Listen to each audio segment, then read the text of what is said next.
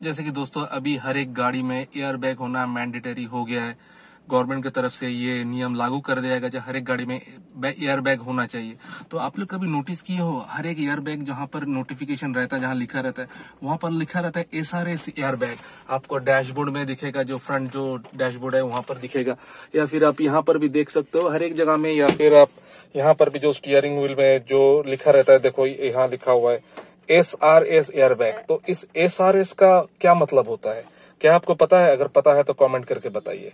अगर नहीं पता है तो मैं बता देता हूँ। इसको बोला जाता है supplemental restraint system S R S supplement restraint system supplement इसलिए बोला जाता है क्योंकि अगर ये आपका जो सीट बेल्ट है, उसको सप्लीमेंट करता है, उसको सपोर्ट करता है, बिना सीट बेल्ट का एयर बैग डिप्लॉय या फिर नहीं खुलेगा at the time of accident ये ध्यान में रखिए।